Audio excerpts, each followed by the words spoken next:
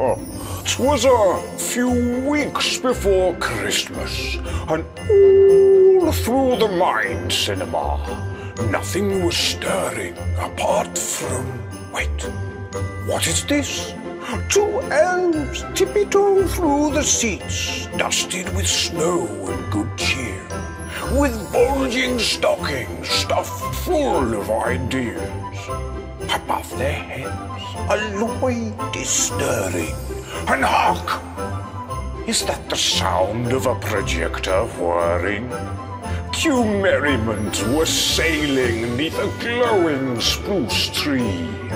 Tis time for Christmas with racehorse movies. Ho, ho, ho.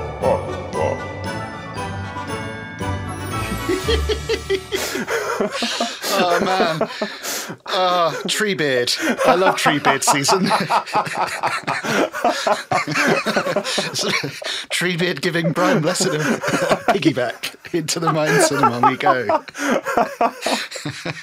what a wonderful, lovely, poetic introduction to this wonderful, festive Mind Cinema Racehorse Movie special. Thank you so much, Father Christmas, You're welcome. uh, for gracing us. Goodbye. Uh, he's off. He was very convivial, I tell you, man. Are we? Are we the elves? Are we the elves? We are, of course, yeah, we're the stockings? bulging stocking elves, man. Uh, Finally. Hello, happy holiday season. happy holidays, everyone. Uh, merry times, uh, happy times, all of the good stuff, man. Mm, the good Absolutely. stuff. How the devil are you doing? We are sending dustings of snow and season's greetings out to everyone. Uh, lovely to be back in this adorned, uh, festive Mind Cinema with you, Graham, man.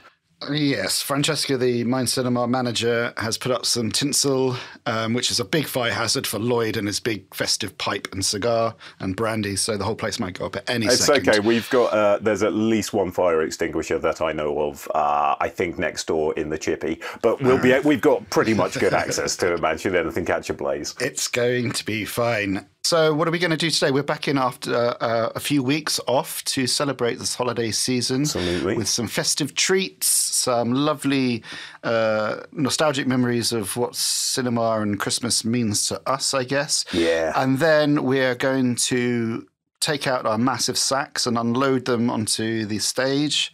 You're going to be awash with uh, festivities and Christmas pictures. Now, when we discussed this episode um, last week, I said that due to some unforeseen circumstances, I was quite, well, more so unprepared than usual for this episode. And you said, in a very beautiful and poetic way, you said, we'll just make it like Christmas.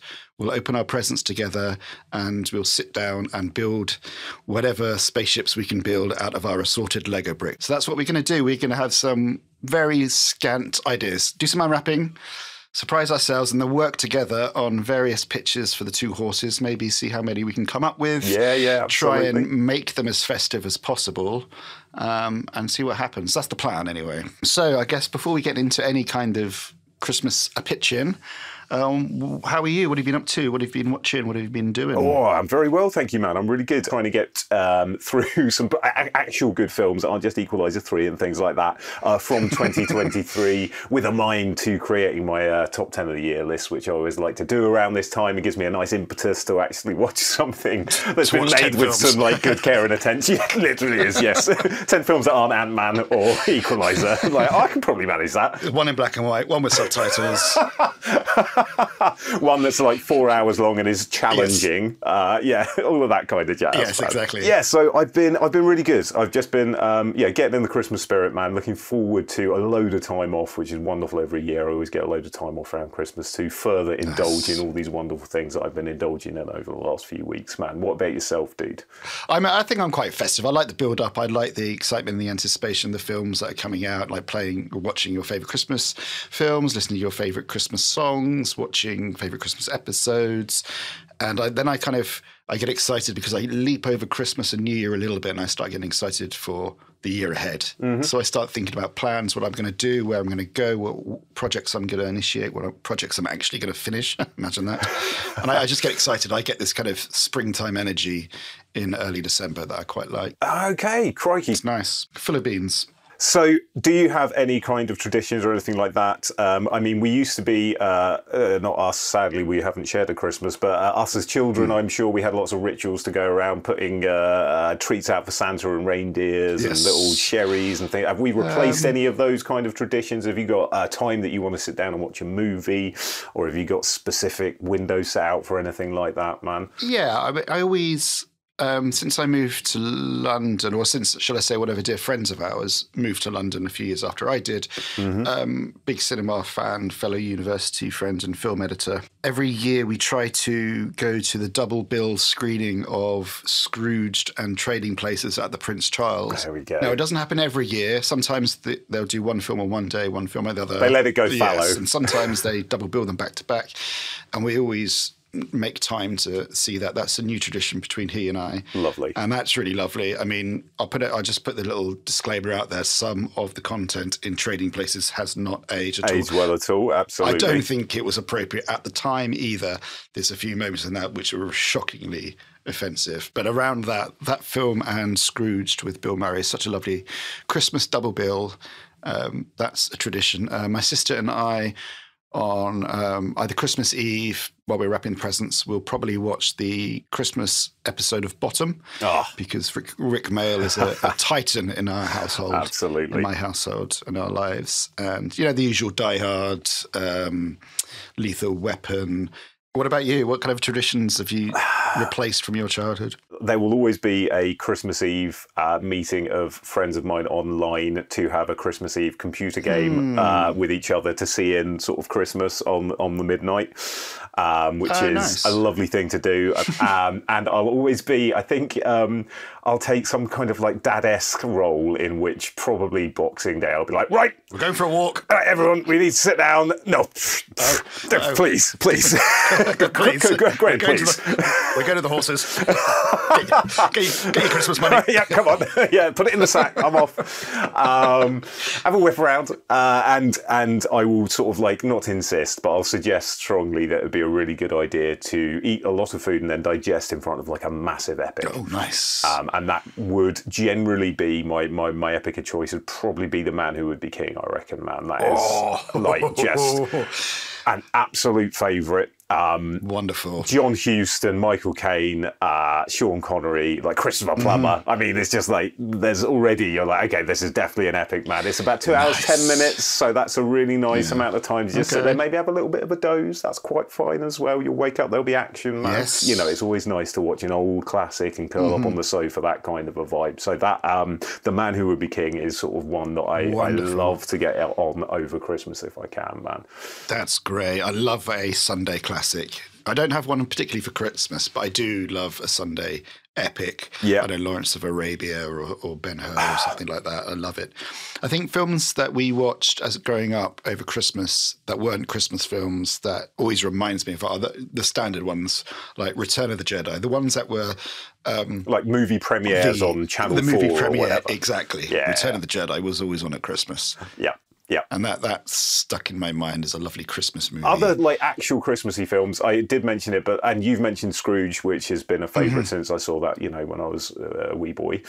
Um, and then absolutely, It's a Wonderful Life as well. I haven't got Mm-hmm. any other sort of like I must watch this at Christmases that are specifically Christmases. I just fall back to like our Back to the Futures, or Indiana Joneses. Mm. Yes, um, shout. and also it used to be Bond. Um, but There's always a Bond film on Christmas. That's why, and I think then that primed me for uh, the Bourne trilogy when that came out, and then that started to be something that was done in a ritual. Was right, we're going to have a Bourne day, and Okay, we're going to watch through nice. to fill that Bondian void that may not have been there previously. One of my favourite cinema stroke Christmas movies experiences when The Lord of the Rings came out year on Oh. year over three years. Um, my friends, I think I was at university. I was, I was in my first year when Two Towers came out Yeah. um, when we met. And I would go home because my mates back then absolutely loved Lord of the Rings. And it was an excuse for us to go to meet up and go and see it on Christmas Eve or whatever, the new one. Oh, and we were just this is back you know barely any internet around so we were we were um scavenging all year for an image or a grainy trailer or something like that Little to tidbits. stoke our love for Yeah. lord of the rings so those three movies over those three years were such a lovely Christmas mini tradition between us, and we'd look forward to it all year, and it would just build up the um, the buzz. So th- I watch Lord of the Rings whenever I want, but I do like over the Christmas period, if I can, to maybe like on the twenty eighth, Yeah, in yeah. between Christmas and and New Year, when everyone's in a- that lovely slump, in a good slump Yes. way. Yeah, yeah. And then I'll have a Lord of the Rings, either a trilogy day, extended edition, obviously, oh. all of them back to back over about 12 hours, or one a day. Yeah, It's just really lovely. Yep. Yeah, I did that uh, two years ago, I think, and it is it's it mm, gives me that perfect sense of like childish glee and wonder, and Hmm. that is the feeling that I want to feel around Christmas. I want to feel it all Very the time, but magical. especially it absolutely is. Um, cool. All right. Well, I think we've covered quite a lot of ground on Christmas, Christmas films, what we like to just what we loved, and like hopefully you guys will like pick up a few and enjoy them if you fancy. There's a pretty good, Yeah. uh, pretty good few recommendations in there. I think, if I do say so ourselves. Hmm. Um, so if we can inspire a trilogy watch or have you guys cozy down on the sofa and uh, watch one of those, that'd be ace. And enjoy if you do. Yes. Or indeed, if you have any suggestions or ideas or recommendations of Christmas films that you love to watch, just drop us a line at racehorsemovies at theneverpress.com and tell us all about it. Okay, well, I reckon that's about enough yapping for us. Should we do some Yeah. creative yapping of some kind and pitch some festive horses? Cast open your stockings.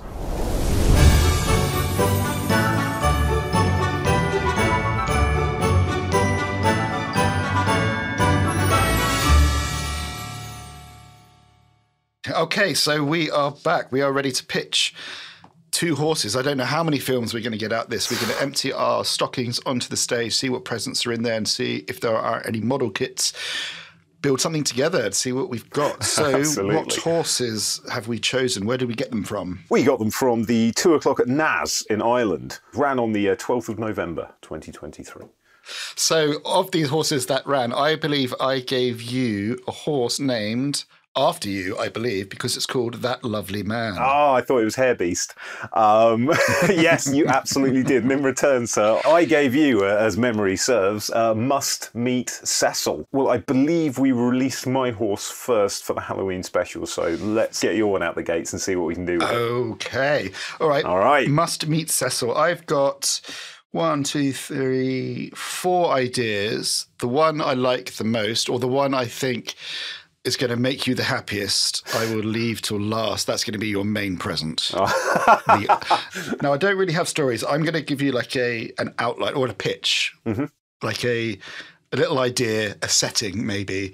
It's something meets something. Oh, excellent. I have a meets and a meets know? for my when I'm bringing mine in. That's perfect. Okay. I mean, it is must meet Cecil, so Yeah. yeah, there's going to be lots of meets. Prepare yourselves. I'm not of the uh, eaty Right. kind.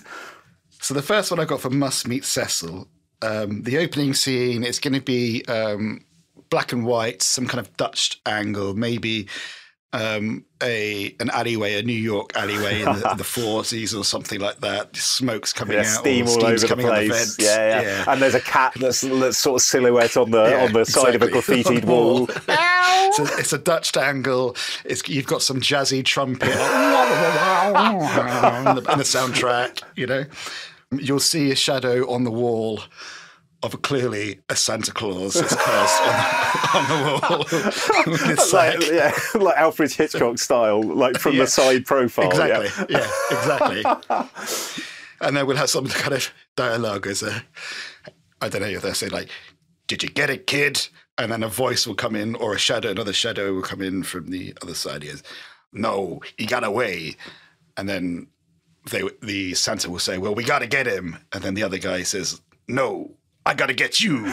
Pulls out a gun, bang, and then we're still holding on the shadow, and then obviously the body like slumps into oh, frame. Oh yeah, yeah, yeah, yeah. Santa is dead, blood trickling out. Last word said alive. I must meet Cecil. It's the last word, said, Okay. which is o- which is overheard. This is when the hard-boiled dialogue comes in. You know, Yeah, yeah, yeah. like kind of. I was just on my cigarette break when someone plugged Santa. the camera will go around. There's like a, a dumpster or a Grundon, and there's just um, an old store detective huddled down on the step, just having a cigarette on his cigarette break. Yeah. Because we're outside these, we're outside in an alleyway of something like Macy's, and the Santa that got killed is the store Santa. So my idea was it's um, Oh. it's kind of like Chinatown set in Macy's. okay. Okay, And this um, this store detective, um, he's uh, he's an ex he's a veteran from the Second World War or whatever. He's got injured and Amazing. um, he's really down on his luck and beaten up, and he's he's um, maybe mocked by his other workers because he's slow, or maybe he's a bit. Or they think he's stupid, or he's got a limp, he's got an injury, but he was a brave soldier, and he's a smart uh, detective, but he's Yeah, a store yeah. detective. Yeah.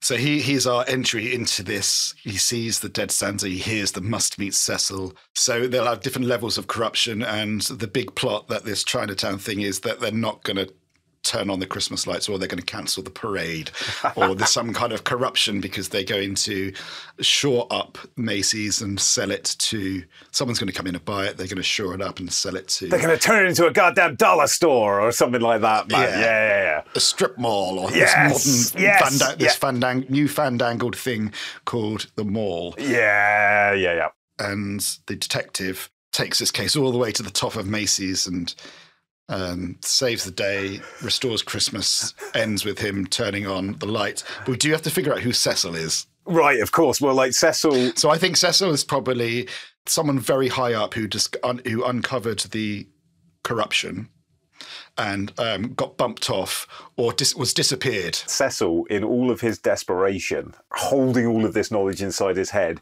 he goes to the Father Christmas just as the, the Santa that we saw murdered at the beginning of the movie, just as he is about to like close up his grotto.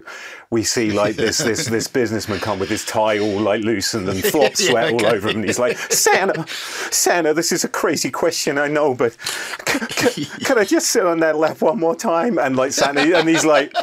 Whoa, whoa, uh, come in. And he, like, this is a big boss as well. So the Santa's kind of like, I've got to toe the line a bit, even though this is absolutely freaky. And then this dude, like, comes and he just has a breakdown on Santa's knee and, like, Yes. confesses so much of what is going on, maybe, or something like that. Yeah, or whispers in his ear or gives him like a microfilm or Yeah, something yeah, like yeah, that. yeah, yeah, yeah. We'll So- have lots of people within populating our story who are like there's a janitor, there's the store detective.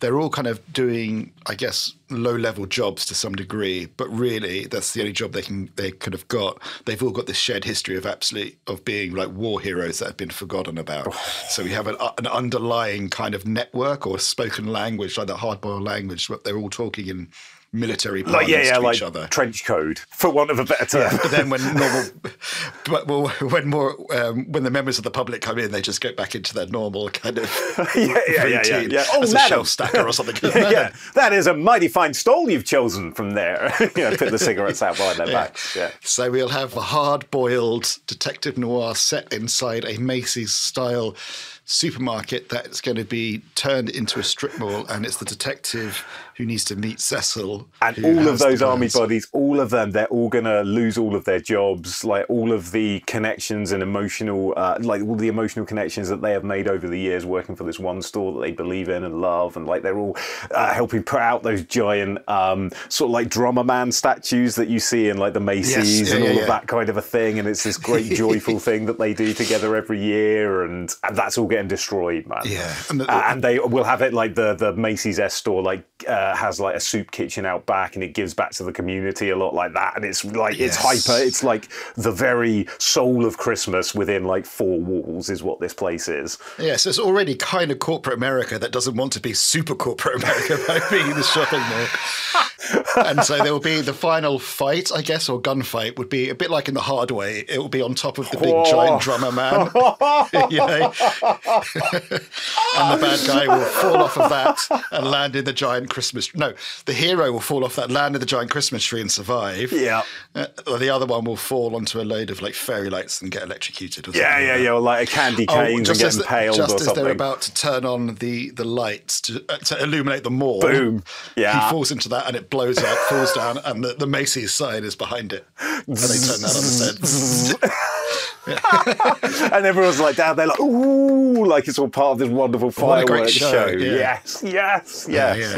yes. That's my very thin kind of idea for a noir must meet Cecil that starts with the murder of a uh, a store Santa, and the store detective has to Has unravel. to unravel it with the help of the army buddies that he helped out get jobs there previously. yeah, and it goes all the way up to the top. Absolutely. Maybe the fen, maybe the femme fatale is like the the PA or the secretary to the CEO, whatever they called them back then. I don't know if they were CEOs, but you know the Yeah, the head of the, the chief. store, or the the chief of the new shopping mall. The head of Macy's is probably quite cuddly and naive. Yeah, yeah, he's like a Clings to the lovely. past. Yeah, yeah, yeah, yeah, yeah, and he's getting totally taken advantage of by by Swish Swish uh, mall Yes. people who have come in and charmed him and completely taken advantage. Yeah, and he doesn't the fact that realise. A so bit like in a bit like in Meet Joe Black. Bill Parrish doesn't realise he's under a massive hostile takeover. yes. All right, that's one idea for Must Meet Cecil. If I could have anyone for our security guard, this will involve time travel, but uh, maybe Hmm. won't actually, because I first went Brian Dennehy. Yes, Um, nice. Please, uh, if we can go back a couple. Uh, a ditto, we'd have to start resurrecting people, and this is uh, almost Halloweeny, but Peter Falk, obviously. and then from Hmm, that, immediately Mark Ruffalo. Nice. Mark Ruffalo. I had Sam Rockwell. Oh, oh, oh. He's like dishevelled, uh, ruffled, a bit war limpy. He's got like a brace a on his knee. um, Yeah, but super sharp. But it's buried way back. yeah, yeah. and so yeah. every once in a while, he'll just pull out something. He'll just notice something, clock it, put it in his back pocket, yeah. and then it just comes out. Yeah, yeah, yeah. And we'll see that with some of the interactions of him actually security guarding as well. But he always does it with a really sweet bent. He's never like hammering the kosh or anything like that. He'll always be like, I'm sure you don't want to do that. And I've spotted you do that. And I think if you take the uh, Toblerone out of your uh, sleeve and put it back on the Yes, shelf where you found it. And then, uh, yeah, so he, he stops some kid stealing a Toblerone. Yeah, yeah. And then um, later on, he steals it for him and they share it outside in Oh. the alley. Like it's a rough, it's a little street kid or something like that. And he doesn't want the kid to get into trouble. Yeah, yeah, yeah, yeah. No, he he'll for, he forks over his dollars, man. No, he he forks over the dollars because he loves the store. So he just like forks over a Oh, bit yeah, of of cash, course. and then he'll be out the out the back and he'll give it to the kids. Yeah, yeah, that's exactly Yes. it, man. Yeah. And the, these kids, in a um, Sherlock Holmesy kind of way, these kids, are the people he helps out, will be like his uh, Baker Street irregulars. Yes. Like they, they'll give him some information on the street and whatnot. Yeah, yeah. As to the, the whereabouts of the disappeared Cecil, who has completely Yes. dropped off the planet since the death Yeah, yeah. of our man Father Christmas Outback. Yeah, Must okay. be Cecil. Okay, that was one. That, That, was, one awesome. Idea. That was awesome. A, a Christmas noir, man. there are not many of them, despite Shane Black's best efforts, man. The next one, Must Meet Cecil, is going to be a a Boxing Day epic made for you. It's going to be a sweeping Ed Zwick style Oh. directed, stirring epic World War One film about a Welsh tenor called Cecil. And it will start maybe in 1912, so two years before the war breaks out Yep. and it will have, we'll have three Christmases with Cecil. We'll have Christmas number one when he's a young 14 year old boy or 13 year old boy, and we get to know his family. And we'll have a nice vignette of his family and singing in the church. Not quite a tenor, but he's got a beautiful voice singing. And we'll set up the family and him. Next Christmas, um, 1913, I think things are starting to Heat up. get a bit he- heat Yeah, up and yeah. stuff and we'll have a christmas where maybe the family break down and there's tensions within the family because of what's going on he wants to enlist or whatever it is war starts he goes over to the war so it's kind of a journey of this one soldier and or this one boy who enlists and he's got a beautiful singing voice and he has a kind of indomitable spirit sees some terrible things but he tries to get through it he's not incredibly heroic he's not cowardly he's just a normal dude but he's just trying to get through it and he's helping people he's got a voice I was going to say, just is is like the just his own his spirit is um, what he brings to the the squad. Exactly. And then on the third Christmas, um, they're in their, their trenches uh, on the Western Front. hmm Yeah, and yeah, yeah. over, you know where you probably know where we're going to go with this Oh one. yeah, I'm so I've And, and then on the other side, on the on the other side, on the Oh. other side of the trench at night, you start hearing some singing, oh,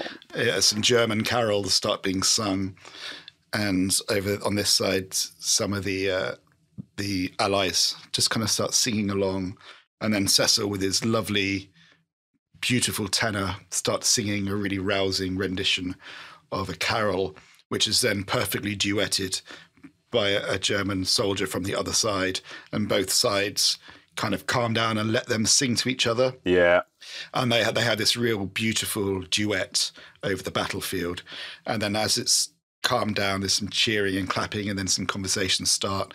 Cecil introduces himself to the German singer, the German singer, and they start shouting messages of hope and love. And then obviously it all ends with the famous, they go over the top, but this time they go over the top to have their famous football match. Yes. And it's yes, a Christmas, Yes. the Christmas truce of 1914. Oh. It ends with a lovely football match between them, um, which obviously turns into England winning 4 2 in extra time. with Cecil. No, no, take it, Germany. yeah, Cecil pulls a They sti- Mooney, they dives the back top, down. singing- they go over the top, all singing Vindaloo. they charge at the, charge at the enemy. but it will end. It will end on a big sweeping um, sing along, Christmas Carol sing along between the two, the the Allies and the Axis forces, and the big football match. And in the middle, at the end of the game, the Cecil and the tenor from the, the German line. They meet and they hug and handshake. Yeah, I, I w- like when they're out there. We've got like the the sort of football and everything is going on, and then one of them will clock the other's voice in the distance, and they'll be like, "Oh, that's that's Mm. him, that's him," and we'll see that sort of almost uh, almost like Crocodile Dundee ending when he's walking over the people's heads at the in the Oh, yeah, airport. yeah. We'll have that. Well, they start singing to each other. Yeah, yeah, yeah, definitely. and they'll be like, "What's that?" And then call and response a little bit, and they'll just he'll be pushing through all the like the celebrating soldiers and the trees to find each other and embrace in the middle of the battlefield. Man, oh my goodness. and we can repeat this throughout each three Christmases. Um, even if the first one there's no argument, maybe the second one there is an argument, but there's something that Cecil does that just unites people just Yeah. for one moment, Yeah, using yeah. his voice or his kindness, and they just have a moment all together. And it's just it starts with with Cecil. Oh. He's just this walking embodiment of sweetness and light that needs to be protected. Oh my goodness, mate, dude. He's just a good old kid. Oh, mate, like when you were describing that, a bit like in um, Dunkirk when Tom Hardy is gliding through the air silently. Oh, yes, I Nil- actually started Nimrod. welling up Yeah. a little bit there, man. so I was a bit like, oh no. I think it was just after I wrote football trenches in the bottom corner Yes, before that, and then you started to talk about that. I was like, oh, sh- don't don't make me cry on the Christmas special, man. So right, sorry, Okay. carry on, carry on. My third one um, is based. It's inspired by a true like the last one was inspired by a true story. This is inspired by a true person who's not called Cecil. Now, this is a person you know about. We've talked about this person many times. I've worked up a short story I want to write about this person. But he's, I think he's colloquially known as Mr. Christmas. Oh, And he's the he, he's the he's the gentleman mm-hmm. who celebrates Christmas every single day of the year and has done or did do for a good few years. So whatever day it was, he would go home. He would put on a he would pull a cracker on his own, put on a Christmas hat, put on a Christmas jumper, have his microwave dinner, um, either on his lunch break or the weekends or in the evening, and he would just basically just celebrate Christmas every single day of the year when we were talking about this person, it seemed to us, without doing too much investigation, that this person may have started this almost as a bet. Like they'd done it for like five days in a row. And then after a while, it's either like a bet or they just become known as Mr. Christmas. So therefore, Yeah. they, ha- they have to keep it going because that's their identity now. So my um, the two avenues well kind of they they come to the same destination i guess. One is a local news reporter who's tasked with writing um, a story about mr christmas. Yeah, yeah, yeah, yeah. and it might be um, an exp- it might be like a feature or it might be an obituary it doesn't matter. But this person goes around and like interviews all these people um, and meets with mr christmas and spends lots of time with him because he's writing this book about him he's writing this feature. But to him it starts out just absurd maybe he doesn't even want to do the story but then he, he He's being punished by involved. giving that story, like by his Yeah. editor, because he's like he did something or wrote something so- that was out yes, of line. exactly. Yeah, and it's so it's such a ridiculous story. And um, he starts writing his notes, and he's very dismissive of Mister Christmas. He's very judgmental. But as the um, the story unfolds, we we start to realize why he's like this, which tugs at the um, the reporter's heartstrings, I guess, a little bit. But the wisdom of Mr. Christmas or Cecil, um, not necessarily the reasons why he's doing it, but the little things that he's holding on to, the the beauty of pulling the cracker or his loneliness or his maybe he's extolling some life lessons and it makes um, the reporter realize what he's missing in life. Basically, I've ripped off that Mr. Rogers film. oh yeah, beautiful day in the neighborhood. Yes, yeah. yeah, that one. Yeah, a, sim- a similar kind of thing where by uncovering this story, um, you learn more about yourself and you learn more about okay the, the, the guy Mr Christmas is probably or Cecil Christmas is probably not doing things to a healthy degree but he's got he's got the right intentions and or the other route same kind of outcome is instead of um, Beautiful Day in the Neighborhood which is in itself a kind of rip off of that Johnny Depp film um, Don Juan. Oh my goodness! With yeah, with the.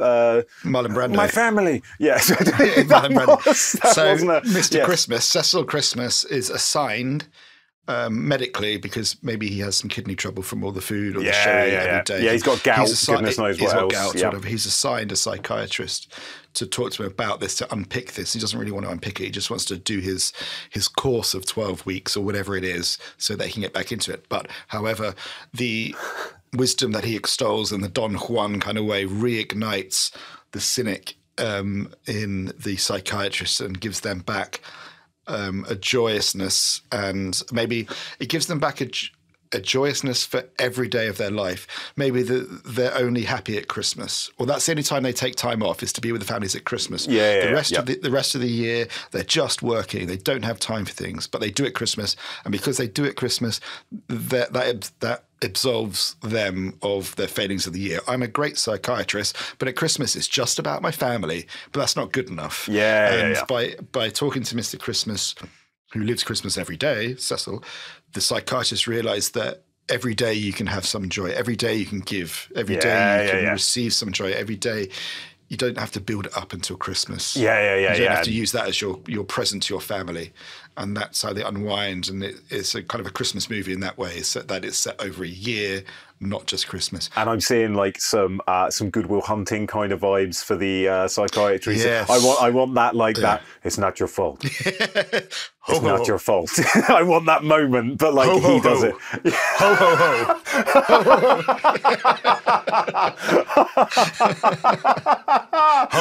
ho ho ho! Yes. So yeah. that would be my third. That's a kind of a, more of a Christmassy. Well, they're all kind of Christmassy, but that's the third must meet Cecil.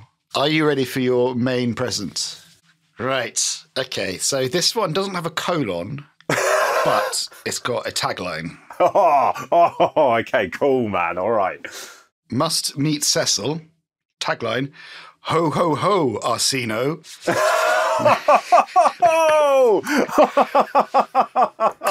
oh, hello there, mate. So we have an Arsino oh. adventure. Oh, oh my goodness. I've made a sequel to the sequel to the unpitched pitch that you had for Arsino way back in episode one. Now, Oh, mate. where we last left Arsino, our intrepid New Jersey hood, he had just broken out of a Colombian prison after an escape to victory style football match. Is that right? Absolutely, yeah. He just Okay. foiled three evil uh, prison custodians to do it, I think, man, and broke some of his mates out as well. So, yeah, Yes. is this dude on the lam? What's going on, man? So, Ars- ho ho ho, Arsino. He's. Arsino is obviously laying low somewhere in South America. Um, he's probably doing some low level gun running or some drugs. He's just in some st- shady stuff, but he's got a maybe assumed false identity or something like that. But anyway, he gets word from back home in from New Jersey somehow with telephone line, and uh, it's serious. Um, he's just on the telephone. Um, you don't know what the message is, but he's having a lovely time in South America, and you know he's. We have shots of him playing football with the, the kids. Maybe he's, he's working in a he's working in a bar. Um, he's just this weird kind of pudgy, hair slicked back Italian American dude working in some Just absolutely sweating his ass off in a bar Maybe he's setting up, a, yeah. yeah. maybe he's set up a little pizzeria or something in like the middle of Bolivia or something like that. Um, and he gets a telephone call, and you know it's serious. You got to get here. You got to meet Cecil. Okay, okay. Something needs fixing, kid. And Arsino, with the help of a 12 year old Colombian street kid, they go on a Temple of Doom, romancing the stone style, romancing the stone, trains, planes, and automobiles adventure through Colombia, South America, across the border through Miami to New Jersey. Because he's got to get mate. there in time for Christmas. Yeah, yeah, yeah. Because he's got to, he's got to meet Cecil because something needs fixing. That's all he ever says about it. Something needs fixing. So he's got this plucky, this plucky streetwise kid with him, who's his guide. Um, I can imagine some kind of shootout, dirt bike chase, shootout, stealing. Um, some drug runners Cessna aeroplane and like Oh, trying yeah, to like yeah, yeah. hop out, just go off this dodgy runway, hopping over uh, into Nicaragua. and we've we've got the map with the the, the course Yes. of their journey on it, depending on what they're taking and how fast it goes, etc. Yep, yep, yep. people are on their tail. Um, every time they go into a new country in a trains, planes, and automobile kind of way, they get up to a different set of troubles. So they meet, they leave one set of bad guys behind, but there's a link to a new set of bad guys, and they have to deal with some Florida people. Because the closer he gets to home, the more waves he makes, the more people come out of the woodwork. Yeah, we'll And start with on like just like the landlord for his pizzeria come uh, come uh, like sort of deli uh, like like he's chasing after him because he's like skipping out of town because he's like just going to blow out of town. And he's not going to pay his like the rent that he owes. We'll start small and then just build up and up and up and he'll just keep accidentally infuriating anyone Yeah. that he uh, accidentally or purposely double crosses to get a mode of transport to get closer and closer to Queens or wherever to is his final destination. Yeah. Hoboken. And obviously, he becomes very close. He comes very close for the twelve-year-old Colombian kid. In his, uh, he becomes like his short round, I guess. yeah Um, yeah yeah definitely and so they, they beat the bad guys. But he finally gets home to New Jersey just in time for Christmas. Um, again, in a plane, just trains and automobiles, very touching, heartfelt moment. And he gets back, and we we realize, or along the way, we realize that Arsino is quite handy. I don't mean like he's good at beating people up, which he is, but he's quite good with his hands. Um, and it turns out that Arsino is actually has a secret passion as a carpenter and he made a special wooden rocking chair for his auntie.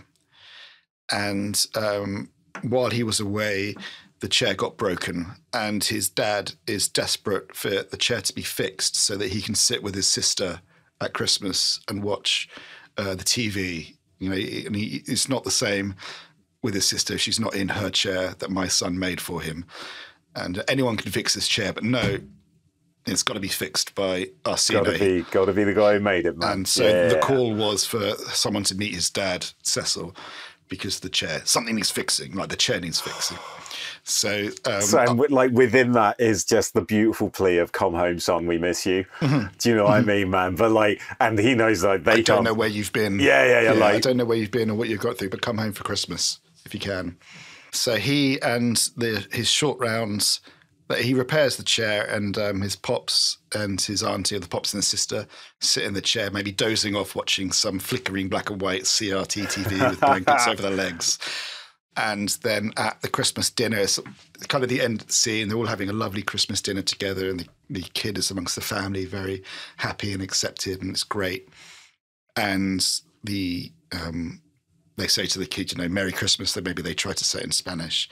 And Short Round casually mentions that in Colombia, Christmas Day is actually the 6th of January because that's when the three kings arrive, which is true. Nice, yeah. And so they realize that's not actually his Christmas. And they all look around the table, and then Arsino puts his head in his hands, put, puts his knife and fork down, goes to the hat rack, puts his hat and coat back on, gets the kid, and out the door they go to take him back to Colombia in time to have Christmas with Short Round's family. So that Yes, we end man. on a further adventure going back all the way they came to deliver Short Round to his own family. So are we playing that adventure out, or are we just leaving that as our teaser for like the next? That's the teaser. yeah, yeah, yeah. Amazing, He just like man. we just have a long shot of the dinner table as he just walks from the dinner table down the, the, the corridor. He just whips to up a napkin and just put- dabs Yeah, mouth, exactly. man. Yeah. and he just like puts his hat on, puts on his coat, and maybe maybe the kid, maybe the kid like stuffs some rolls in his pocket. just like, yeah, a turkey leg. He just puts a whole turkey Yeah, leg with like the top bit sticking out, man. and that's how we end. Must Oh. be Cecil. Ho ho ho, Arsino. Dude, right, the hat. I want his, uh, his. I want like the busted up trilby that he wore for the first adventure Yes. that he managed to get out of prison. That's going to be Yeah. like his Indiana Jones hat. This battered, Yes, tattered, cut up like you will have him just thing, like man. hang his head in his hands and take the paper crown off his head into the table. it's oh god, here we go. Okay, and obviously. Another Arsino adventure will happen where they don't get any. Maybe they go via Japan or something like that. Just get Absolutely, yeah, yeah, yeah. And we we tease that like with a there will be an Ar- Arsino will return that kind of a thing, man. You know, like the Will, Back to the like, Future will, ending. will Arsino return? yeah. and then the, the red dot on the map is just going completely the wrong direction. No, it just starts to draw a question mark, and then it just ends on the dot, and then out Yes, credits, yeah. man. Yeah, Mid-credit scene, they're both sat arms folded, looking really glum, like uh, assuming that it's each other's fault, and they're just looking at the camera very glum. And then you just see some bars slam across, and it's got like a Russian star on it. They just ended up in a gulag or something. They just come like five seconds. and then on, yeah, yes. Oh Yes. my God, yes, yes, yes, yes.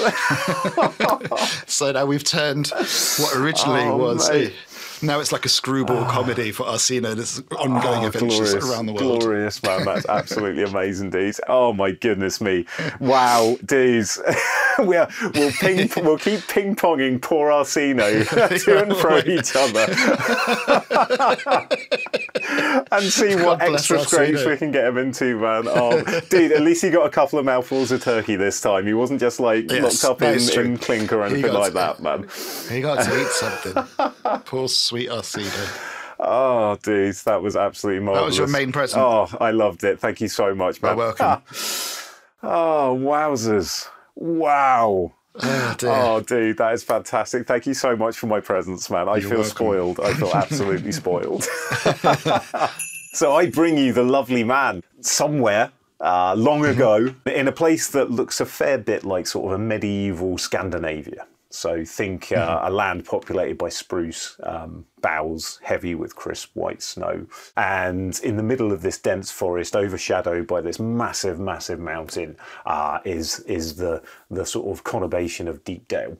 So we start with preparations for like this massive end of year feast. As we are going through Deepdale, we'll weave through the town. We can hear like the sound of a distant hammer strike just far, far in the distance. And this is kind of the sound that's leading us almost through uh, this lovely village of uh, Deepdale.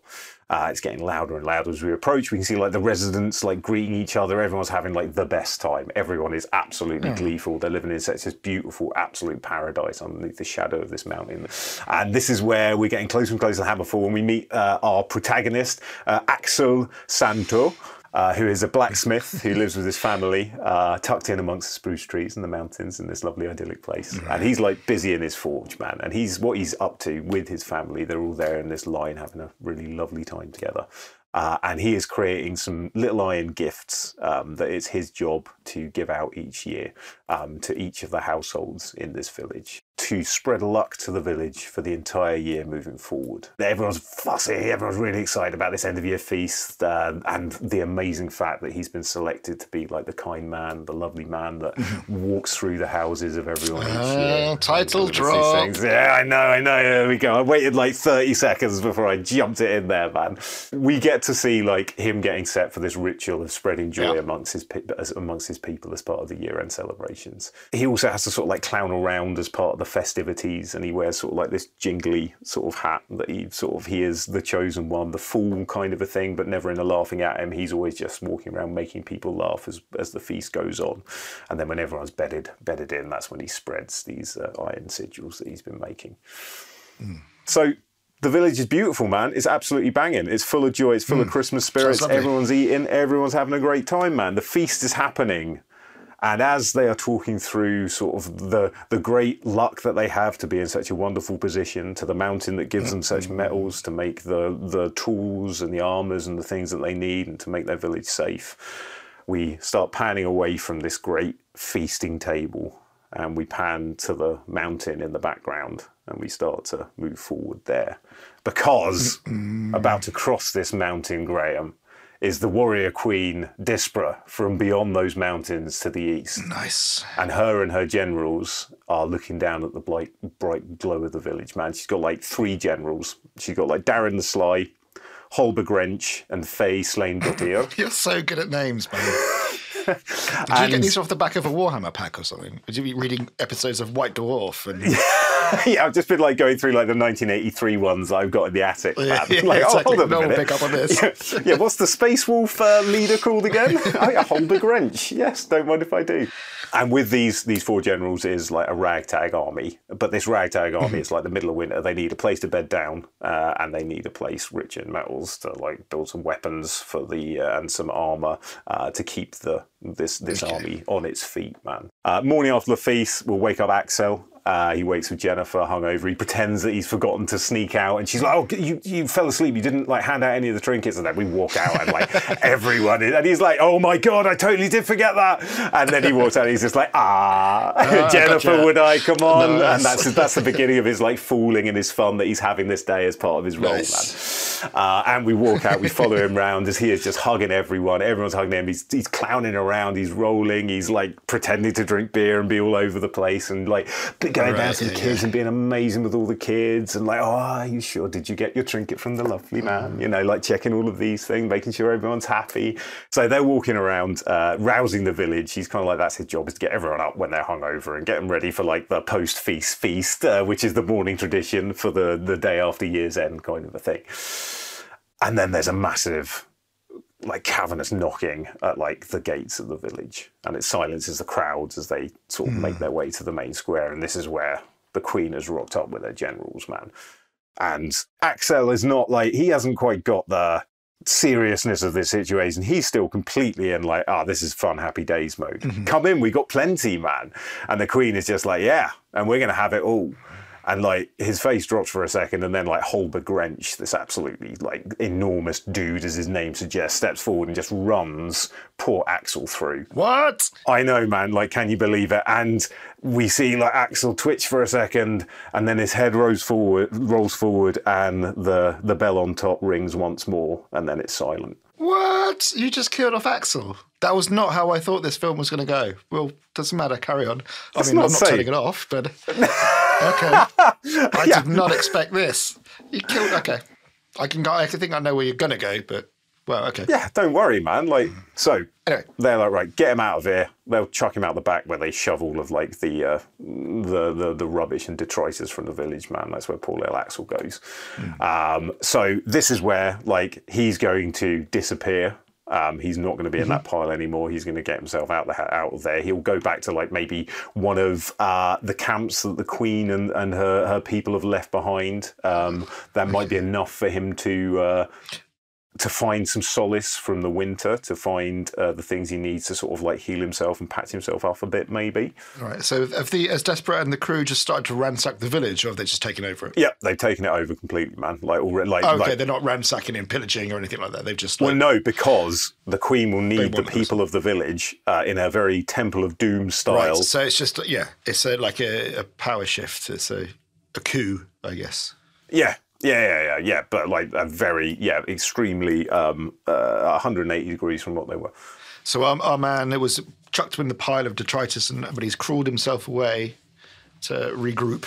Yeah, and he's fixing himself up, man. So what I want to do is have him. Obviously, he will fight these three generals, um, and each of these generals, the first one, Faye, uh, Slain Dottir, uh, she rides a sleigh, and it's kind of like this Mad Maxian uh, bladed monstrosity that's pulled by these two sort of wild, uh, snorting, uh, snorting out great bellows of steam, sort of horses, kind of a thing. Nice. And she will be the first who is sent out to scout for the body because it's disappeared. And like she is the most mobile. She is the scout. She has this like little sleigh to get nifty around in, man.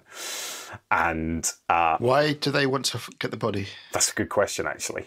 Maybe they want to get the body because she's like, well, fire up the furnaces, blah blah blah. But we don't know how to work the furnaces like he can. Well, they they've got this armor or they've got this thing, this sword, this forge that only Axel knows how to use, and just by happen chance, they're like, "Oh fuck, we actually probably tried to kill him. Yeah, Get him back in yeah, here, yeah, bring him back up. Yeah, yeah, no, he's definitely. not here. Yeah. Don't find him. He's got. We've got to. We need this forge to work Absolutely. Yeah, yeah, yeah. There we go, man. That's exactly what we're going to do. And they go back and they're like, well, maybe he might still be alive back there. And they go and it's just empty snow with Trail blood. of blood. Yeah, that's it. And Yeah. they're like, oh my God, like, what the hell's going on here, man? Right. And so she's like, find him! You know, the proper, like, Willow baddie style.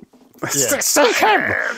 Uh, sends, sends out the best person for this, Faye Slaindotir, on her sled, uh, sleigh, sorry, drawn by the horses. And so I want to she will obviously fail and they will find the two mad horses at the gates of the village and that is the only sign that Faye has absolutely failed in her mission to go and get our man Axel.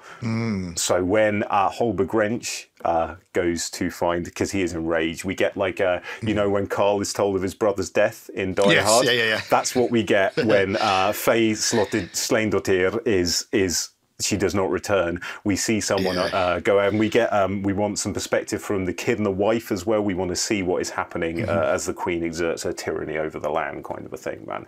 So we're going to Mm. get like some nice POV in there, and we'll see the wife and the daughter, and they'll do the Holly Gennaro thing where there'll be this great scream of anguish, and we'll see her completely losing their stuff, and they're like. Wait a minute! Like they went to look for dad, and like Yeah, I think Dad's okay. You know, I think he's all right. I think, oh my god. Only god, dad can make someone so angry. so Yeah. angry.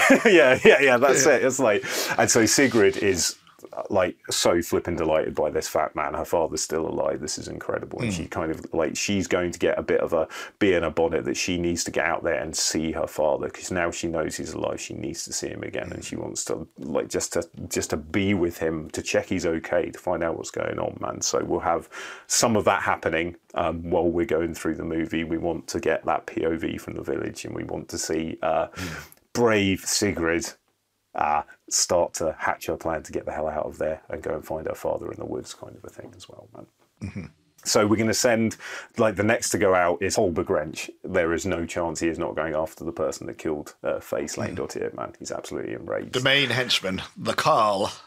Yeah, yeah, that's it. And he's going to wear like um, these these massive robes uh, that were once uh, from like this great white hart that he hunted as part of the show of his amazing prowess. Um, it's just one of the many things he wears. And over the years, it's been stained with the blood of his enemies, uh, and that is now this absolute sort of like crimson suit with some white fringes, kind of a thing. And this is the thing that he adorned himself with, and he's known with.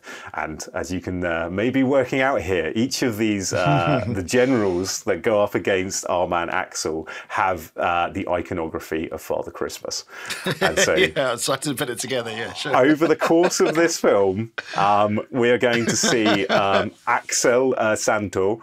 We are going to see him um, best and collect uh, the adornments from each of these people who uh, try and best him and enslave the people of his village.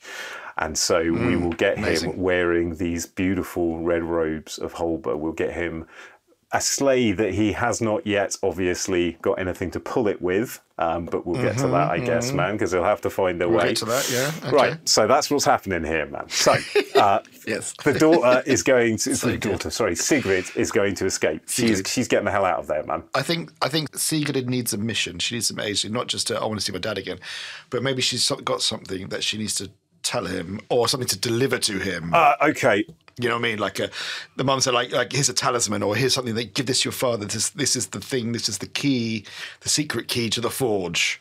I think it might be enough to get her out there in the first place if she just takes one of those was- things that her father's made, one of the like the good luck talismans, and like we're safe. We we Uh-huh. Are alive. Your people are alive. Yeah. Uh, Like I don't know what you can do, Dad.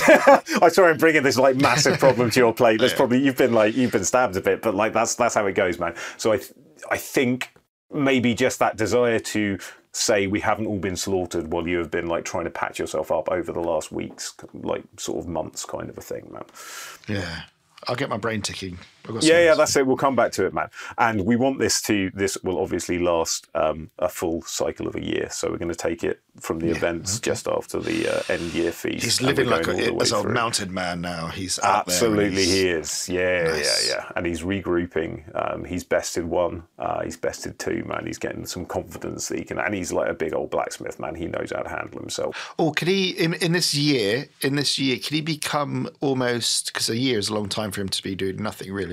Could he become like a, a, a spooky bogeyman for desperate men? Like every once in a while, they send a raid, or they have to go out to get firewood, they have to go something, and like one of them doesn't come back, or Yeah, yeah. one of them thinks they, a bit like a Bigfoot sighting. They think they've seen in the woods, they've seen a ghost walking or something. He's just around. No, they've they heard. They've know. heard the bell on his hat. That's what they hear. Yeah, yeah, there's something like that. It becomes like a folk legend. Yeah, every once, every once in a while, maybe he does kill someone, or he does, Oh yeah, definitely. Yeah. or like, or something happens, and they think, oh, um, Axel got them. That maybe they just they fell down and broke their leg because they were spooked, so they think it's connected. and they're savaged by a wolf, and like they're like, he controls the wolves now. We, you know, Yes, it's like yeah, yeah. th- this is how it starts to build and build over this year, man. And each time Hmm. Okay, one of these nice. parties comes back, we get Sigrid and we get Jennifer, and they get more and more buoyed, despite knowing that there is no way their father can be behind all of this. They are buoyed by the fact that he is the symbol for this, and he is clearly having a quite Yeah. an effect on the people that are coming back, and they are starting to see that power The forest and the mountain is starting to protect. the complete power they had. Yeah. And yeah, and it's and and for the people in there who are the invaders, it's starting to loom, Yeah. man, and it's starting to Yes. be deadly. So um, we're going to have uh, Sigrid will slip out at some point, and she will just run for her life. She gets she doesn't get spotted because we don't want that reveal to happen yet. But we'll get the queen. We'll find out at some point that someone has been uh, leaving when they shouldn't be, etc. Man, but like Sigrid gets the hell out of there. She meets up with her father because she hears a very distant. She hears that hammer ring that we heard oh yeah, after she's walked like she's Mm-hmm. she's covered a mile or two in the snow and is starting to get terrified, starting to think that all I've done is walk out and kill myself in the Mm-hmm. forest, and then ting, ting, ting, psh, and she starts following this. yes. Maybe she could do like a really in, clever escape. Like there's a river, but she gets like a hollowed out log and like hides in it and just floats away from the, the crowds or something from the patrols, and she just stays in this icy log for all the way down the river. Very treacherous and very kind of. But she uses her ingenuity rather than uh, just that's like it, yeah, to- flat out running it. Yeah, yeah, yeah, yeah. Okay, get yeah, away. yeah, yeah, and then puts that distance between, and then. The call of the hammer. She hears the call of the hammer in the Mm. background, which she Yes. knows, like like the sound of her father's breathing, for goodness sake. and follows and follows and follows. And we break out into this clearing. So we're a couple of months in now of, of Axel being doing what he's doing in the woods. And we break out into a slight clearing with this beautiful icy stream running down the center of it.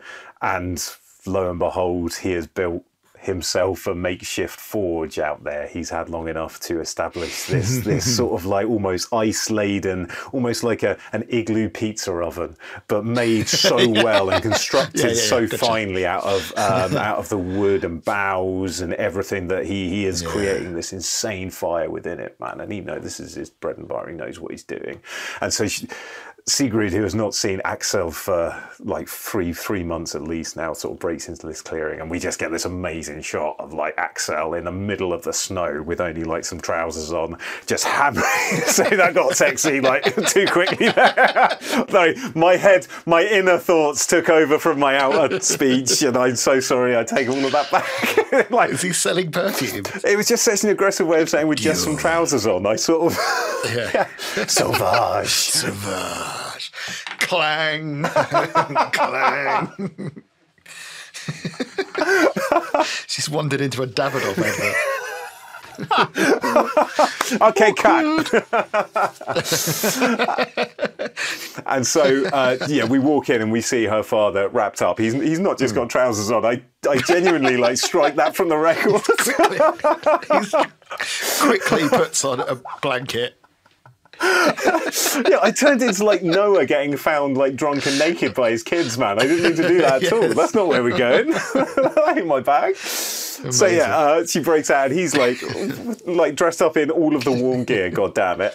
And you can't see any of his shape or form. He is not being objectified at all. Uh, and we see him like hammering and hammering and hammering, and like the sleigh that um, Slain Dottir left has been sort of like this. He's taken the, as much of the metal as he could off of it, and he's like resmelting it and trying to forge himself some like some weapons, something to protect himself with, something. Uh, and we see him like douse the sword that he's making into the icy stream next to him, and he's got a really good damn setup going on, basically. And all of that is forgotten the second he sees Sigrid. He starts to like obviously just weeps and drops to his knees in the snow, and you see this massive plume of his breath coming out as he sort of like just sobs, sobs, and she sort of runs into the plume of his breath and through it, and throws her arm around him, is weeping like we're alive, we're alive, we're alive. Oh. And so they get over all of the uh, absolute wonderful. He's so happy to know that not only is she alive, not only is Jennifer alive, but the villagers are alive, although they are being used, as I said, like the slaves in the Temple of Doom who are being forced yeah. to work and work and work. They are still, for now, alive. There is still hope. They haven't just been ransacked like we thought they might have been when that, they first kicked in the gates. Maybe they they've been sacrificing people as well. Like the old people on the battlements have been put up and strung up, and in, a kind of like a bait to bring him out. Yeah, and I can- see it. And every once in a while, he wants to try and attack, but he's on his own, and he knows this horrible torment going on. You know. Well, that's what the daughter will say, like, Father, Father, they've started to, exactly as you said, because I Yeah. can see just the people strung up and the tattered clothes hanging and like the, the the ravens picking at the frozen flesh that kind of yeah we want some real uh, yeah pulp Conan energy to this man. Pulp so yes Conan they have. energy, exactly. yeah yeah definitely. And that'll be the opening of one scene. Will just be like someone being hoisted up. We'll just have like a, uh dead shot of like the mountain and the horizon and then into that someone is just hoisted up dead and you see the dead eyes of a villager kind of a thing and that's and she'll say Desperate like is going to be like the lamentation of the old will bring him down from the mountains. yes, yes. The next one, do not kill so fast. I want him to hear their screaming. so good. and then the ki- and the kid is like, "Look, this is what they're doing, Dad." And he's like, "Look, I know. I hear their screams every night, and it haunts me." And it, I can't it, get a moment yeah, of peace. bit, a bit of peace, man.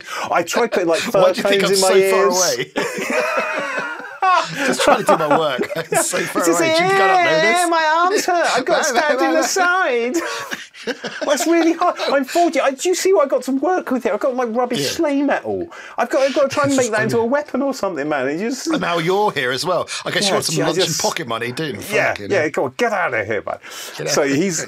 So he's like, she's like, yeah, he's like, I know, I hear it all the time, and all it does is just make my hammer blows the stronger, and it fuels each and every one of the strikes that I have. Hmm. It's that kind of a deal, man. And then she's like, like, look, you've, and he's like, but this this metal's absolute rubbish. It's not what I can work with. It's not what I need. I need our ore. And I need our ingredient. I need I need what we have. I need what the mountain gives us. The secret is like, well, the, the soldiers that have taken over the village, they've thrown all of the trinkets you made out across the walls, uh, out sorry, in piles around the village because they think it's bad juju, man. That is bad luck to have those things around. They don't like how it makes them feel. They don't like what it's for. And he's like, right, you have to rally the villagers and I need you to get them to, in a very Andy Dufresne in Shawshank Redemption kind of a way, to toss any and all of the sigils and the uh, charms that I made over the walls of the village. You must do that for me, and I will collect that, and that will be the material I need. Luckily, he has. So now the bit that we need to work out in this little bit, man, because he's got a Luckily sleigh, he's got a Graham. Sleigh. Yeah. But luckily he what I has need him to have is uh, nine wolves. Reindeer? No, no, no, not reindeer. No, no, no. Okay. No, no. He's he's like he, Nine wolves. He needs nine wolves, man. One of which will have a scar on its nose, as would Rudolph, to uh, delimitate the fact that he is Mm, leader. This is the alpha of the pack, man. And he's out in the forest. He's got like several months left before whatever plan that he is coming up with like has to be enacted, man, to uh, reunite and save his village so they can feast once more at year's end in happiness and joy. But I don't quite know how he's going to come across these wolves or how he's going to tame them. He has to tame the wolf, doesn't he? Has to fight. He has to become the alpha. Well, and I think that he will. He has to give the scar. He'll be the, one who scars the nose. Exactly that. Yes. Yeah. Yeah. Exactly Okay. that, man. Yeah. So he has to, uh, like a grey kind of, he has to fight a wolf, punch a wolf in the face, take over their den. Yeah, maybe, maybe he, he rescues some that are like drowning and puts them back in their oh. den and, and like ingratiates himself with them that way, feeds them, domesticates them to a degree. They don't come near him because he's got fire. And he maybe he like wards them off to start with, and we have this kind of thing with his little forge that it's a protected thing. But they get closer and closer because he's got food somehow. I don't know where he gets food from. Oh, he's hunting. He's a good hunter, man. Yeah, he can make his own tools for hunting. That's not a problem. But he, le- Yeah. he leaves, like in the village, to mirror the the village where they're leaving the piles out of the ruins to ward off the the spirits or whatever they're scared of. He leaves piles of meat for the wolves. He knows who the alpha is. You know, he's just kind of calm with them. Okay, so yeah, we're going to get a dances with wolves. One gets a bit too close, he scars it. Um, but that he the wolf scars him, he scars the wolf. So they have a kind of like, okay, now we're, we're All right, even. fair enough. Like, we're, we're Yeah, whoa, like, whoa, yeah. whoa, Wolfie, easy. we, we've all had a drink. We've all said a few things. Let's just keep it calm. no, I know, I know, I didn't mean it. I've left you meat. So yeah, he he gets he gets a, a simpatico with the animals, the flora and the fauna in the mountains around because he's a mountain man. He knows the, the area. But we will have this kind of the wolves are a terrible threat to start with, and they're a terrible threat to the village, um, the invaders. But to him, he spends Yeah, yeah. a lot of time, and that could be a whole big subplot that he spends just a lot of time gradually, gradually ingratiating himself into this pack. So that is now where we're at. Like this is what like Sigrid goes back and she's like, like we, we get some really nice scenes with the villagers, and we get to see uh, like Holber Grench, who I th- we won't maybe not have invested yet. Um, I think uh, like we'll have him as a Seriously wounded, maybe. He, That's like, it. He's got- crawled back, man, and like has had the cape torn from his back as well, which is kind of like almost, as far as Holber's concerned, the biggest insult. That's worse than death almost because he maybe he a- could um he, like gets uh, an ear lopped off or he loses a hand Yeah. so he just trains right ha- left-handed now or something Yeah. like that he's Yeah. he, he's been bested and it's such a humiliation Yeah, exactly that. Right. So yeah, he's crawled back with his tail between his legs. Uh, absolutely, man. Hmm. But so he is not yet dead. But but uh, our man Axel has obviously taken his fineries. he's twice as deadly now because he's so angry Oh yeah, yeah, yeah. He's just like this raging uh, uh, thunder of a man at this point, man. And he, and I like the idea of him just coming back to the camp angrier and angrier each time. like I won the first one, he like tips a table. The second one, he might like run at a shack and tip that over or something instead. Like I just want it to And escalate more time, and more. They don't even open the doors to the village. He just like walks through them like a Tex Avery cartoon. So angry. Yes, and, yes. And he would have like a uh, one of the villagers is like walking up to him with like some food, hot food on a tray. See one of them just turns around, like nope. Yeah, just on a heel, they just go. Just like. I will save his dinner for later. yeah, yeah, yeah. Master isn't hungry, marvelous. He's in, he's in a bit of bad. De- he's desperate. yeah. Like, he's in a bit of bad mood. Yeah. Give him a minute. But we'll have that actually. Like we'll have him. He'll come through and like genuinely do something like kick the main door of the citadel down or something like that. And he's like, he's got like the blood is still sort of like pulsing down his arm, and he's just spitting and in and, and then we'll have Durin. yams his arm into like the furnace to seal the Oh, wound. Without, yes, without, even, without even like screaming. He's just so angry. Yeah, well, he is. Yeah, he's gonna. We'll make him the blacksmith as well because they are forging. They are extracting Yeah, okay, metals throughout yeah. all of this, man. So he is the rival blacksmith to Axel. Okay, so he comes back without his hand or whatever it is, and he yanks his arm into some molten whatever lead to to steal it, and then he stamps it onto Axel's marker, his his brand, Yeah, so that he's always reminded. It his arm is encased in metal now, and it's got. Axel's brand on it, so he's always reminded who gave him this weapon. And Obviously, he, he would forget that, but he's still like visually, he's visually Yeah, but like, reminded. yeah, yeah. No, every now and again he forgets, and then he goes to like scratch his nose, and he's like, ah! But now he's got like this metally stump, Like before he goes out to battle or whatever, he's just like heating it up. So he's got this molten Oh, arm that he's sort of firebrands. Yes, like a firebrand molten- oh searing into people's faces. Oh, yeah, you can punch through trees with it. Goodness knows what else, man. Yes. oh, fantastic, man. So, like, yeah. So he's he's been like he's been coming out to the village, raging, raging, raging, Yes. which is also distracting like Dispra and Darren from their Especially like over a year. nefarious. He needs to Oh mate, he is honestly, yeah, yeah. no, no, but like, like he'll he'll go for like uh, for the first uh, like he'll go three months in. No, he'll probably go like four months in, and then eight months in, and then when he comes back on the eight months, like he is he is livid. so he's he keeps coming back, and uh, Sigrid is also starting to spread the word through the villages, and the villages are starting to get buoyed, um, much like our sweet sweet Axel buoyed everyone on the morning of uh, the uh, after the uh, end of year feast. Man, they are getting buoyed by his actions from afar. They're seeing the disruption he's causing. They're seeing the terror that is spread throughout any of the guards who go out and do patrols, all of that kind of stuff. Man, they are absolutely. And maybe they're, they're sowing the myth themselves now. They, they weaponize their superstitions because Desperate just thinks when they come in that these people just have stupid superstitions, which they maybe do because they're very sweet and nice and easily invaded, and their superstitions very sweet. But what they do is they turn that against turn them that use it as a immediately around. Yeah, absolutely. And they they start building within, which is their uh, these these both Axel and the villagers are now sort of almost working in unison without quite knowing that they are, and eroding these guys from both sides now. Man, like that is what's happening in a very clandestine way. Axel is going to go, and he is going to. With the newly tamed wolves that he has befriended, man, they are going to go down he is going to get them to pull him down. He's going to collect up all of the uh, materials he can from outside that the villagers are left. He's going to get them back to the forge, man, and he's starting to formulate his little plan. Nice. And so he's going to start making weapons for each and every villager that lives within the village. And it is his duty, or it will become his duty, he sees it, to give these weapons beneath the hearths of every villager that lives in that village still on the last night of the last night of the year. As was the tradition with the good luck, this is the best luck that he can give all of them, man. So now we need to get word to Axel.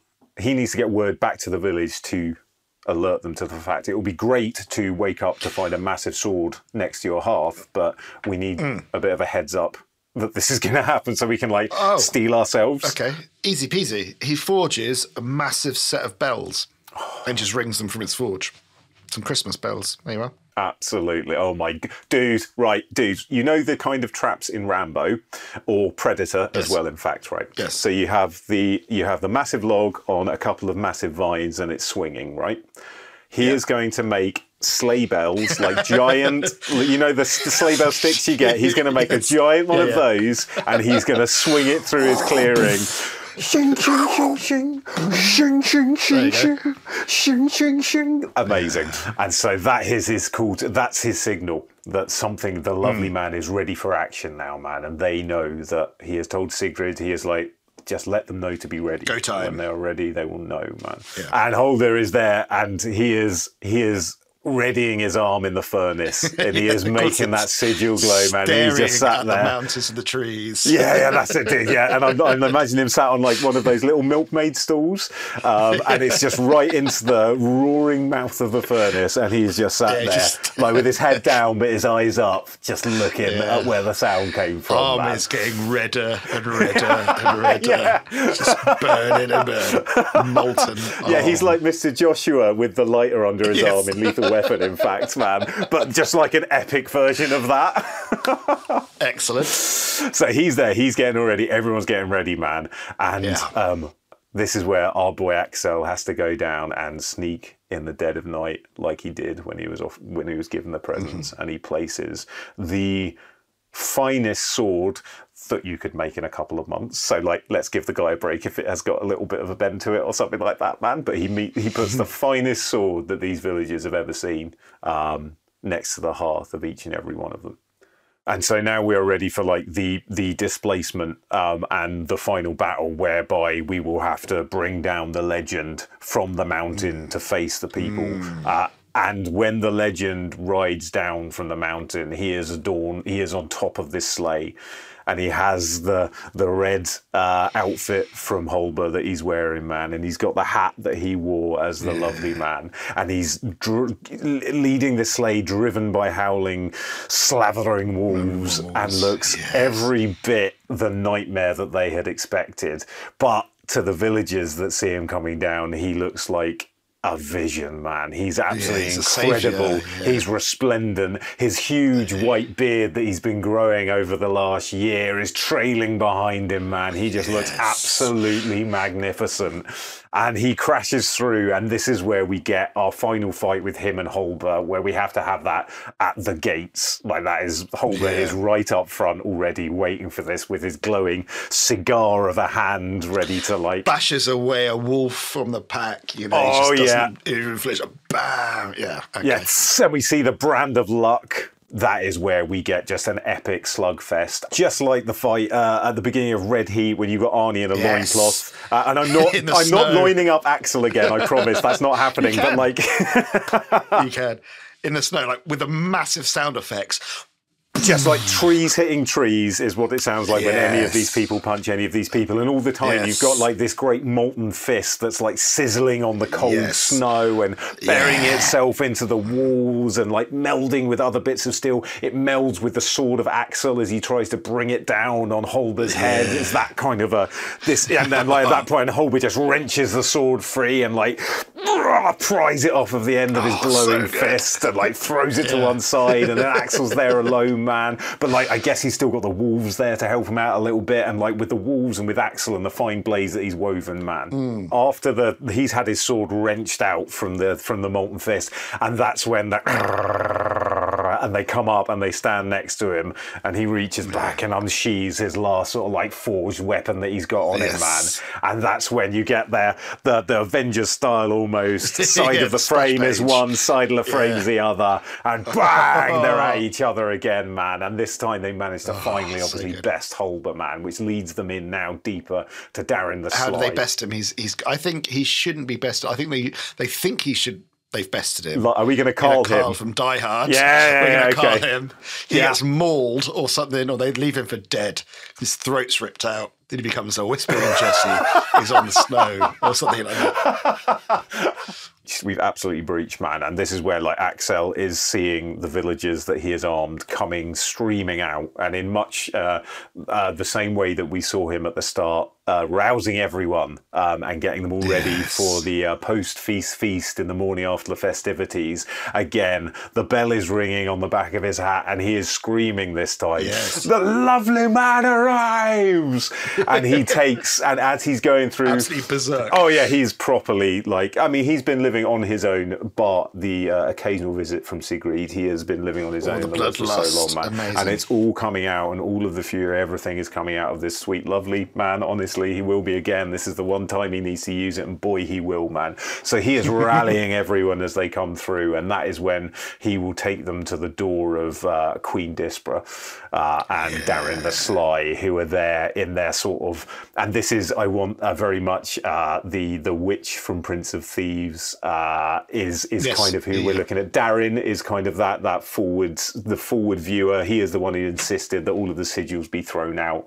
Uh, he is the one who has been fascinated and terrified by the idea of this mysterious sort of uh, spirit of the woods that is haunting them. This is where like Darren and uh, Axel will. Um, Darren's going to come out with his uh, like he'll have his like apothecary sort of sacks and Yes, yeah, yeah, bags yeah. around him, and on his back he has So got like phosphor bombs and stuff like that. Exactly that, and like all of these strange, noxious gases. Yes. And this is where we start to see, I guess, the sort of like the armors that Axel has made for himself underneath his big red, like Father Christmas esque Hmm. uh, uh, fineries that he stole from Holber Grench. We start to see some of these protections revealed as he's like getting bits blown away from him and smoke and noxious things that are being flung at him from like Darren the Sly are coming at him, man.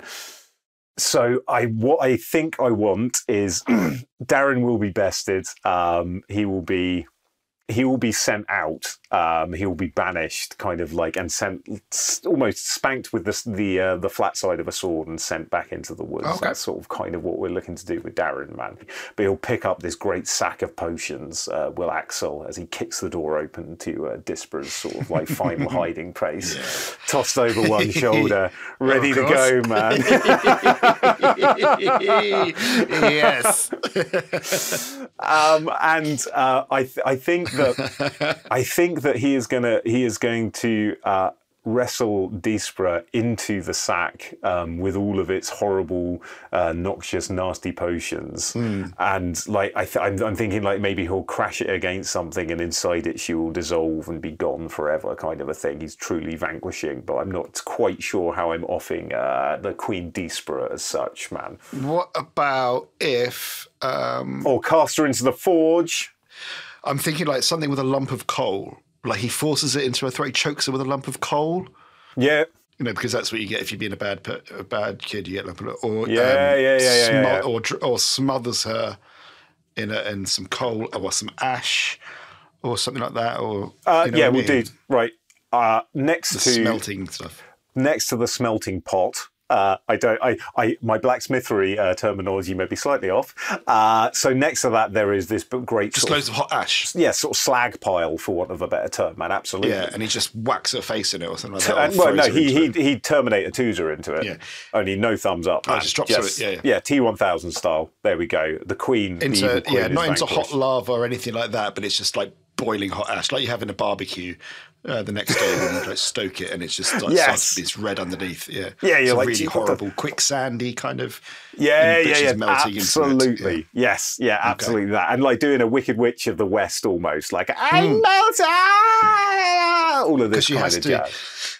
She has to have her comeuppance for the very thing that she wanted to be in with. She came for the, the forge and the weapons. Yeah, cool. Absolutely. Got it. Right. So she's, and then he collapses the sack at his feet and and the villagers swarm in and they sort of lift the now sagging because he's absolutely like cream crackered man and the villagers have been like mm. we see as he is walking through to get his quarry of uh, Darren's the Sly and uh, and uh, uh, Queen Dispra we see all of the battles the villagers are having the ancillary battles they're having with all of the sort of hench people that have been around man and we see that they are sort of like they are mm. winning the war because of the fine fine uh, forger forging that um, Axel has done man so we get to tell that story as Axel is on his way through the village to his sort of central point of the forge where the queen is, man. So we'll, we'll fill that in. And at the end, Axel is knelt uh, neath what, for all intents and purposes, this great forge looks like a giant chimney breast.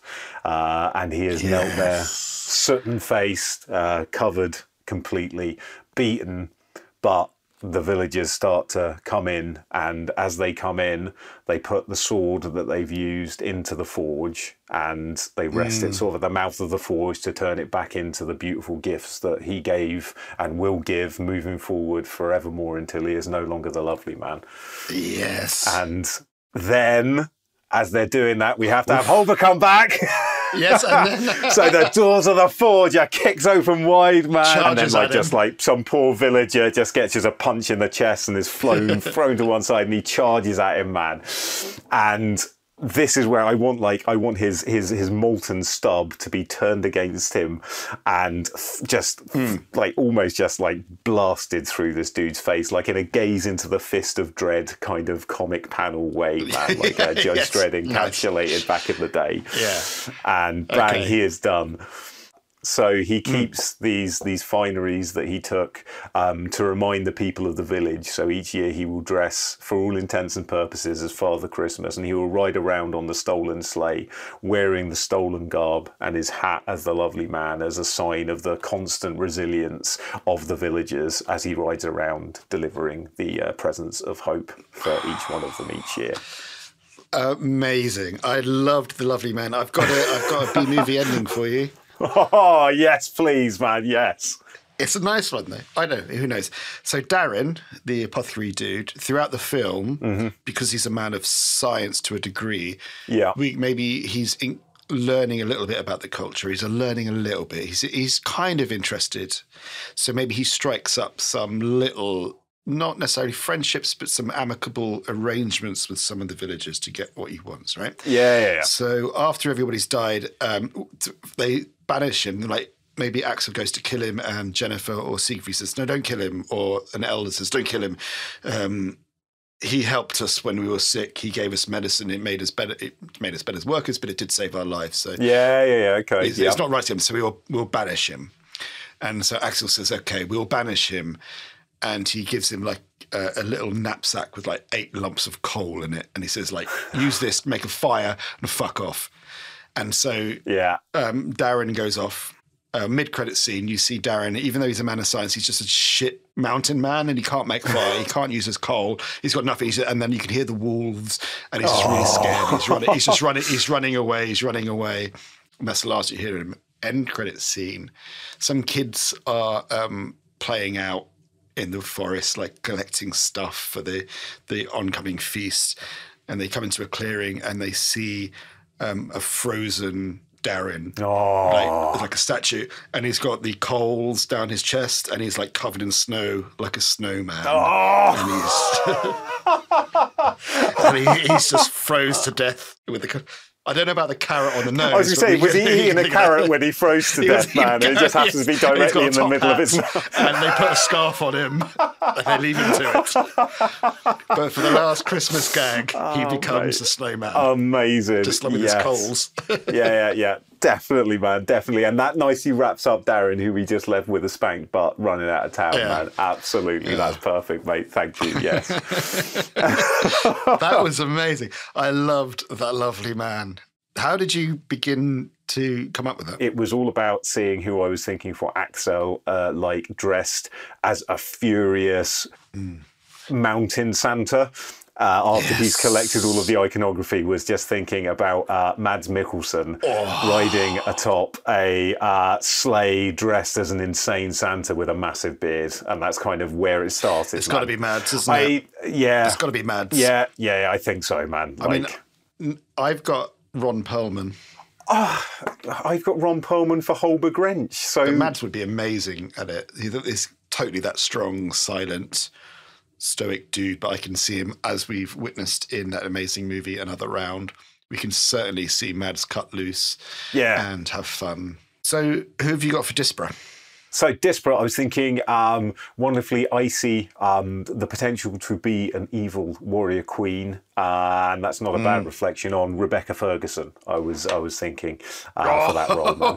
Oh, Yeah, you know, just, I just, yeah, I could just imagine looking amazing. Rebecca Ferguson, perfect, absolutely perfect. Yeah, Done. just like, just, just made for a fantasy film to play good or Yes. evil, man. Directors. I've decided I do want to go the Kevin Reynolds way. That's we need. Nice. We need that sense of big scale. You want something with a bit more adventure, a bit more spirit, a bit more kind of. Sam Raimi might be a shout. I want Sam Raimi. The um, Army of Darkness, when you've got everyone in the castle who's doing all the preparations and they're hammering all of the skeleton army when they're getting ready, and the energy and the sweeping scale that that has, as well as like bits of levity to bring things up a bit, and you'd be able to play on the levity of the villagers, uh, turning the uh, spirit of the forest into more of a spirit than they actually are. That is a. I'm having that man. That is a With wicked the, yeah, shout. like his cameras flying through the forest when some of when an invader is out there, when um, Baxter is out there foraging. oh, he sent me out again. Bloody hell. I've only just been put back go- together.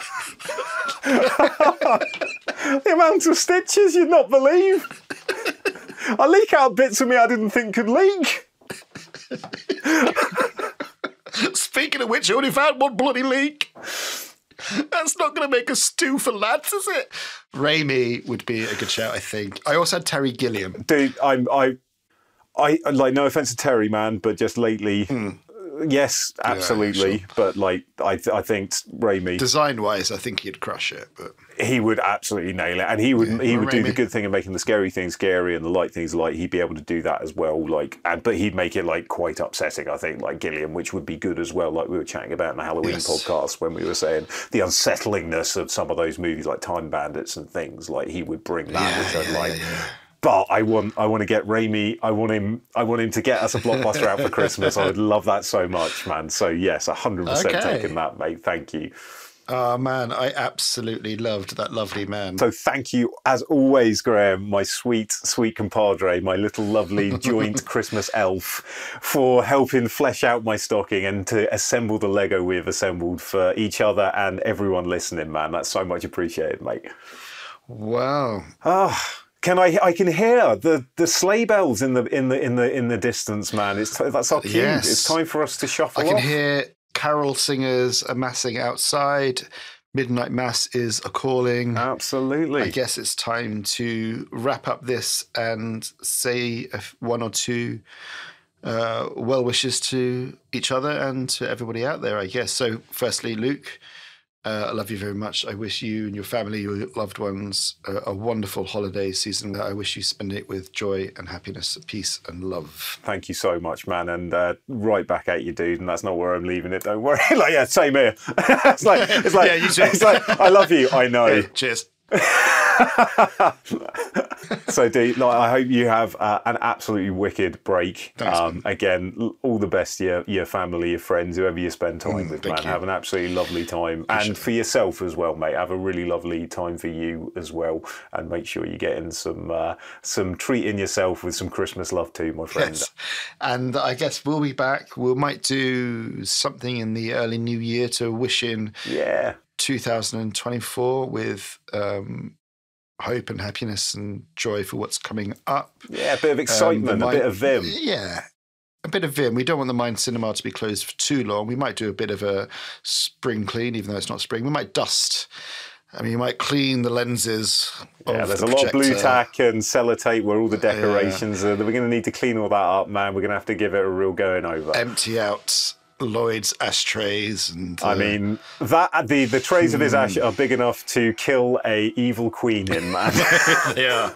They certainly are. so we will be back. We will um, come up with something that will drop into your earballs sometime soon. But until we do, from us and everybody at the Mind Cinema and at Racehorse Movies, we wish you nothing but love, peace, joy, and happiness over this festive season and we will see you very soon. We love you all. Goodbye.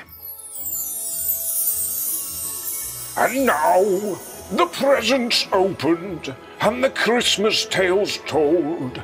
It is time to bid farewell to our two pitching elves and filter out of the soon to be snowed in Mind Cinema.